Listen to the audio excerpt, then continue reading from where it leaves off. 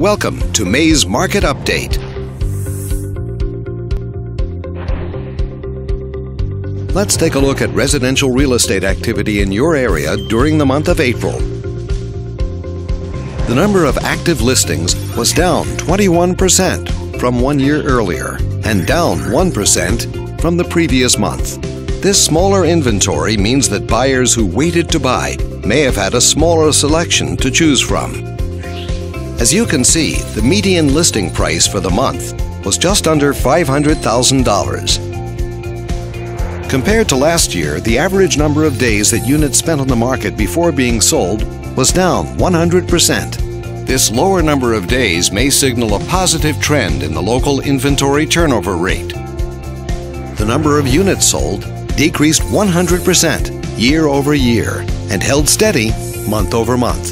Even though sales figures were down from a year ago, the recent local market conditions were basically unchanged.